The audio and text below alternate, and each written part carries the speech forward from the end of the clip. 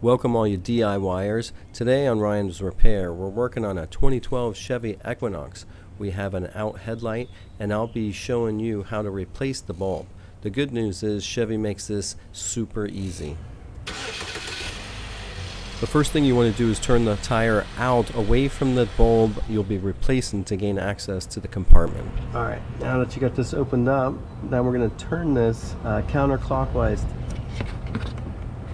You'll notice it doesn't move and you'll have to find the screw that locks it in place. Now I recommend getting yourself a precision toolkit as many different options including the Torx or Star screwdriver head which is needed to replace this and this is a T20. With the tire turned out you'll be able to fit the entire screwdriver in to remove the screw. It won't work if the tire is turned in.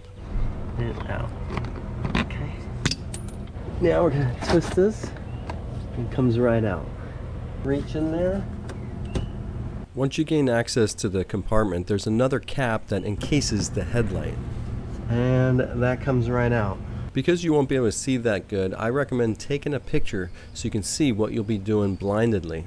Now we're gonna look for, see if we can pull that out. You'll need to feel the light bulb and turn it counterclockwise in order to remove the headlight bulb.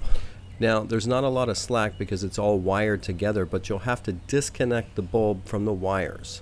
Once you reattach the new bulb, you'll have to put it back into its position and turn it clockwise.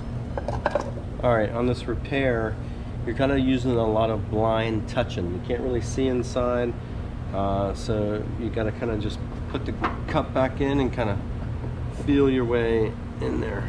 Be patient because I found putting the cap back onto the headlight encasing took a little time, so just kind of feel your way in there and be patient. And finally, you'll have to replace the cap that gives you access to the headlight compartment, and don't forget, you'll have to screw the screw that locks the cap into position. Then I think you're done.